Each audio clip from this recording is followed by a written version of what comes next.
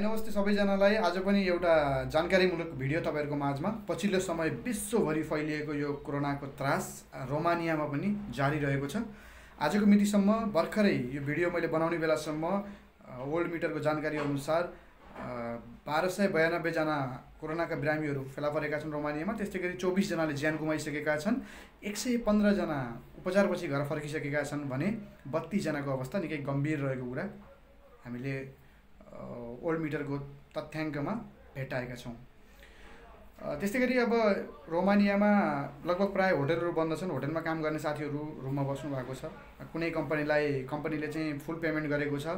कोही कम्पनीले गरेको छैन। होइन भने पनि यहाँका गभ यहाँको गभर्मेन्टले चाहिँ फिफ्टी पर्सेन्ट भए पनि गभर्मेन्टको तर्फबाट कामदारहरूलाई पे गर्ने जसको काम भएको छैन भनेर निर्णय पनि गरेको छ।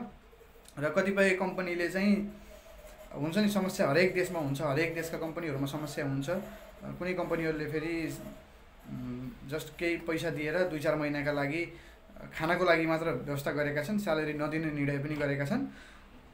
त्यस्तै गरी मेरो सन्दर्भ गर्ने हो भने मेरो कम्पनीमा पनि अलिकति त्यस्तै अवस्था छ काम बन्द भएको थियो पछिल्लो समयमा। तर हाम्रो कम्पनीले के गर्यो भन्दा केही मान्छेहरूलाई राखेर केही कामदारहरूलाई अर्को कम्पनीमा ट्रान्सफर गरेको छ। जस्तै मेरै सन्दर्भमा हामी मैले तपाईँहरूलाई पहिला पनि भनेको थिएँ हामी दुबईबाट पाँचजना आएका थियौँ हाम्रो कम्पनीको लागि। कुनै एजेन्टको थ्रुबाट होइन यो हाम्रो व्यक्तिगत चिन्जानको आधारमा त्यसरी हामी उताबाट आएका थियौँ। यहाँ आएपछि के भयो भने हामी चारजना नेपाली एकजना फिलिपिनी थियौँ।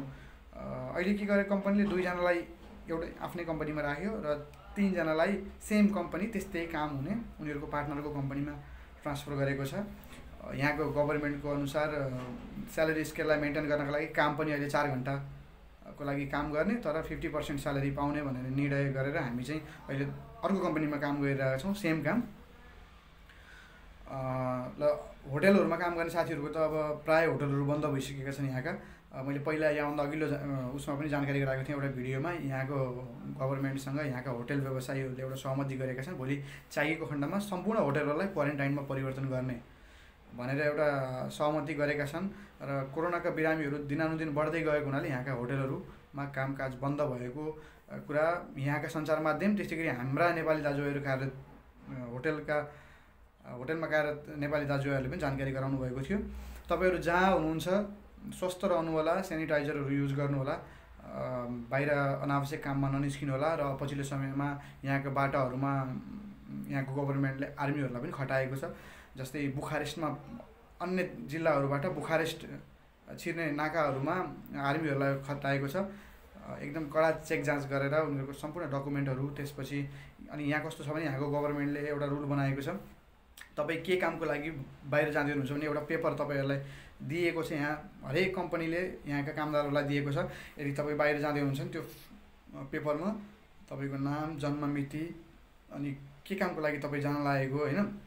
जस्तै सामान किन्न जान लाउनु भएको कि काम कामको लागि जान लाउनु भएको कि अथवा मेडिकल कुनै प्रब्लमले कहीँ जान लाग्नु भएको कि अथवा तपाईँकोसँग पेट्सहरू छ कुकुरहरू बिरालो खरायो मुसाहरू तपाईँले पालेको छ भने त्यसलाई बाहिर लिएर हुन्छ नि पार्कतिर लिएर जान लाउनु भएको कि हो? त्यस्तो खालका अप्सनहरू राखेर यहाँ पेपर तयार गरेको छ र जसले पनि अनिवार्य कति टाइममा निक्लेको होइन कति कुन चाहिँ बाटो युज गरेको भन्ने कुराहरू त्यहाँ क्लियरली मेन्सन गरेको छ।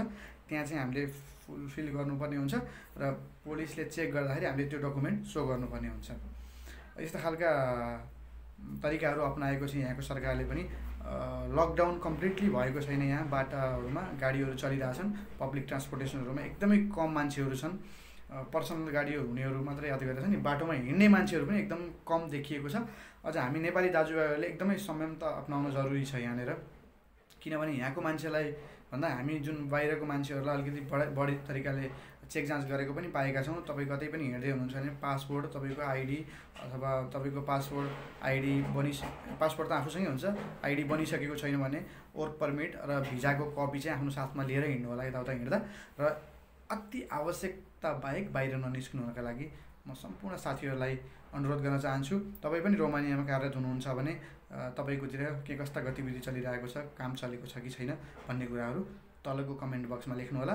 अनि अरू केही तपाईँलाई जानकारी लिन मन छ भने पनि तलको कमेन्ट बक्समा लेख्नुहोला। र धेरैजना साथीहरूले एउटा कुरा सोध्नु भएको थियो मलाई भिजा आइसक्यो अथवा वर्क निक्लिसक्यो कि हामी आउन सक्छौँ कि सक्दैनौँ भन्नुभएको थियो। अहिलेसम्म गभर्मेन्टले रोक लगाएको छैन नेपालबाट। नेपालको एयरपोर्टमा बरु आउनेहरूलाई बन्द छ। जाने क्रम पनि त्यति बन्द भइसकेको छैन क्या जस्तो लागिरहेको छ मलाई तर श्रम बनेको छैन। यदि तपाईँको वर्क पर्मिट आएको छ भने वर्क पर्मिटको भ्यालिडिटी टु इयर्स हुन्छ साथीहरू त्यसको लागि ढुक्क हुनुहोस्। तपाईँहरू तपाईँको जति कन्ट्याक्ट हुन्छ नि त्यो बराबरको तपाईँहरूलाई सुरुमा वर्क पर्मिट गा बनेको हुन्छ तपाईँहरूको। त्यही भएर तपाईँ दुई वर्षसम्म त्यो वर्क पर्मिटको डेट एक्सपायर हुँदैन। ढुक्क हुनु होला यसको बारेमा। है?